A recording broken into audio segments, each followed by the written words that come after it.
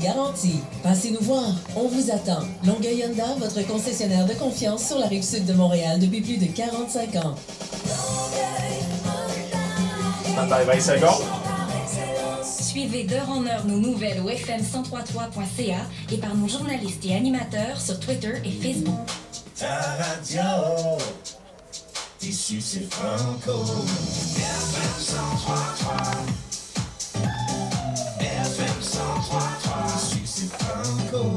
Jean-Yves? Il est 13h30 minutes. J'ai le bonheur de recevoir en studio Alex Saraf, qui est l'auteur du livre La psychologie pour apprécier l'humain. La vie est belle et simple. Ce sont les gens qui la rendent triste et compliquée. Il est arrivé en studio avec son grand sourire et il sourit depuis déjà 4 minutes. Il est assis devant moi. Il n'y a pas de problème d'argent, toi. Ça va bien, là. Ben, ça va bien, oui.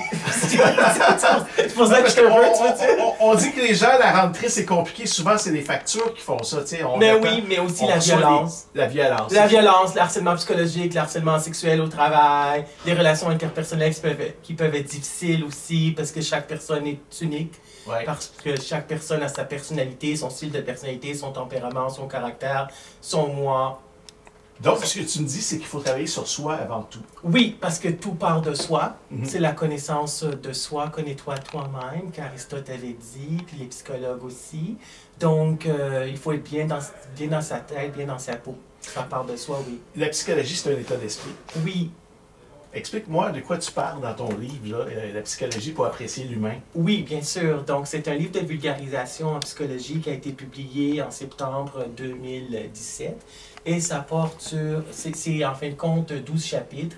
Il y a le chapitre sur l'adolescence, la santé mentale, la santé amoureuse, la santé sexuelle, euh, la dynamique de groupe, nos relations interpersonnelles, la violence dans nos relations, euh, et la pédagogie collégiale, euh, et ainsi de suite. Les gens qui sont à l'écoute veulent savoir, euh, pour Oui. les gens qui ne te connaissent pas, qui est Alex Saraf? Qui Donc, es-tu? D'où oui. viens-tu? Oui, donc je viens de Montréal. J'habite à Montréal depuis euh, plusieurs, plusieurs années au centre-ville de Montréal. là. Puis euh, je suis psychopédagogue de formation, donc j'ai le bac en psychologie, la maîtrise en psychopédagogie. Euh, puis le livre a été publié, c'est ça, comme j'avais dit, je suis écrivain. Euh, puis euh, je voulais aussi communiquer euh, ce qu'on enseigne dans les cégep. en tout, j'ai fait 4 cégeps en tout dans ma, dans ma carrière, jusqu'à aujourd'hui.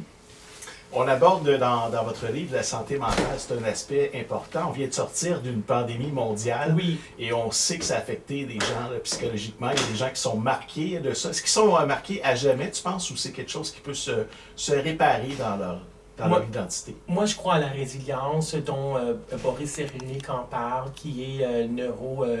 euh, euh, psychologue, il est psychologue, psychiatre et psychanalyste, euh, Boris Cyrulnik. Il a parlé de la résilience, c'est-à-dire qu'on est des gens résilients, qu'on rebondit, c'est la malléabilité du cerveau, c'est des, gens qui ont vécu des choses difficiles, des expériences de vie douloureuses, embarrassantes, traumatisantes, des histoires de vie tristes et désolantes. Je pense qu'on s'en remet, on s'en est remis. C'est sûr que la pandémie a été difficile. Il y avait plus d'anxiété, de dépression, même de troubles alimentaires. Il y avait de l'isolement. Mais après trois ans, je pense que les gens s'en sont remis. C'est sûr qu'il y a encore des gens qui se sentent isolés, qui ont peur encore de sortir de chez eux. C'est rest- Il y en a qui sont restés marqués.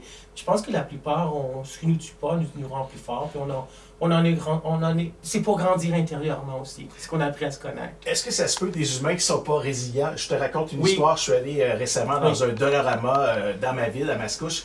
Et à la caisse, il y a, un- il y a un gars qui, qui voit des gens passer avec des masques. Oui. Et là, il dit très fort, il dit, c'est terminé la pandémie, les masques, on n'a plus besoin de ça.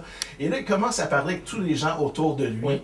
Et il dit, ben là, si jamais il y a un couvre-feu, moi, je ne vais pas respecter le couvre-feu, je vais sortir. Est-ce que ces gens-là sont récupérables ou c'est irrécupérable?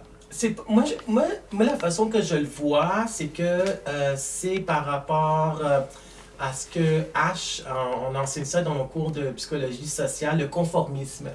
Donc, c'est sûr que la plupart des gens sont conformistes. Nous autres, les Québécois, on est des conformistes. On s'est conformés aux règles. Ouais, ouais. Mais il y a aussi des gens qui font de ce qu'on appelle l'anticonformisme. Donc, lui, dans sa tête, c'est un anticonformiste, il ne veut pas respecter les règles parce que, parce que la psychologie, c'est ça, c'est que chaque personne est unique, ça dépend de chez le point de vue de la personne. Donc, euh, comme moi je dis dans mon livre, chaque, les fleurs de la vie sont de couleurs différentes, mais tout aussi belles et éblouissantes. Donc Mhm. lui, euh, c'est la différence aussi, la diversité, que moi je prône ça, vive la différence. Donc lui, dans sa tête, c'est ça, c'est ce qu'il croit, puis c'est sa perception, c'est son point de vue à lui. Ouais. Ça lui appartient, bien sûr. Mais on peut pas, on peut pas changer les autres, on peut juste se changer soi-même. Ça, c'est important de savoir aussi. Exactement, c'est ça la psychologie, c'est Oui. le travail sur soi. Oui, Je rappelle qu'on est avec Alex Saraf, qui est psychopédagogue. Oui. Et euh, tu parles dans ton livre aussi des enfants à l'âge entre 6 et 11 ans. Qu'est-ce qui se passe dans, cette, dans cet âge-là? Est-ce qu'on a beaucoup d'esti- euh, de problèmes d'estime de soi?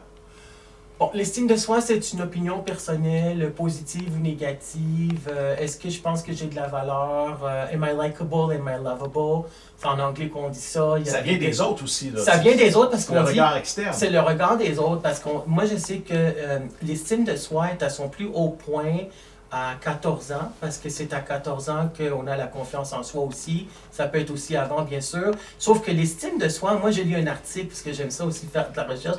J'ai lu, lu des articles qui disaient que l'estime de soi se construit par rapport aux opinions, au point de vue, aux reproches, ce que les gens disent de nous, puis c'est à son plus haut point à 14 ans.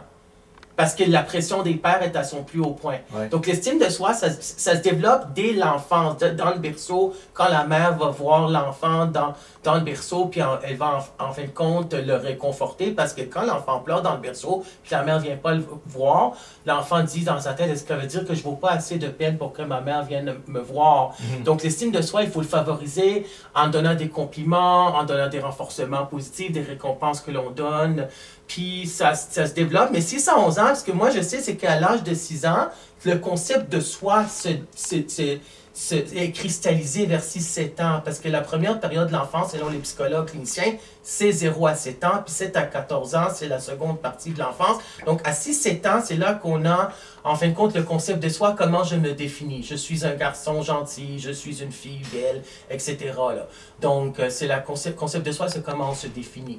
Dans ton livre, tu dis parfois le garçon adolescent ne sait pas ce que veut dire être un jeune homme dans notre société. Qu'est-ce que tu voulais dire par ça? Oui, parce qu'on est. euh, moi, j'ai suivi la conférence avec euh, Francine euh, Duquette, en fin de compte, qui est sexologue, qui enseigne au département de sexologie, qui a un PhD en sciences de l'éducation. Puis j'ai suivi son, sa conférence sur l'hypersexualisation chez les jeunes. Puis elle, ce qu'elle avait dit, puis elle a nommé les auteurs aussi, qui disaient qu'on on- les, les adolescents les adolescentes ont ce qu'on appelle une perte une perte identificatoire, une perte euh, perte de repère identificatoire. Mhm. Perte de repère identificatoire, c'est-à-dire que le garçon, il ne sait pas ce que veut dire un- être un vrai homme ou un homme vrai. En fin de compte, à quoi il s'identifie, à quel modèle?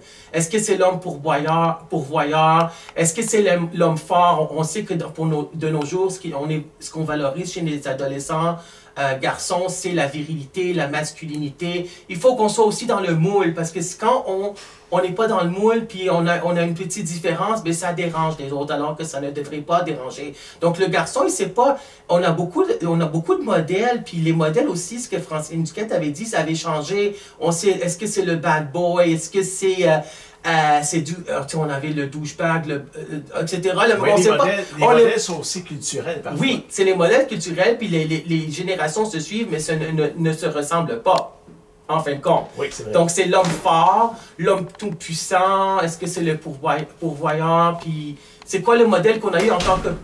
Nos, nos pères, notre propre père était comment aussi, là? Comment il interagissait, avec notre mère. Donc, on s'identifie par rapport à ce modèle-là. C'est parce qu'on fait ce qu'on appelle euh, l'apprentissage par observation d'Albert Bandura. Donc, l'apprentissage par modèle. On a un modèle, on regarde le modèle, puis on va reproduire le même geste, le même comportement, action, réaction observable et mesurable. Alex Saraf, ça a été un plaisir de vous recevoir en studio. Je rappelle aux gens que le livre Oui. s'appelle La psychologie pour apprécier l'humain.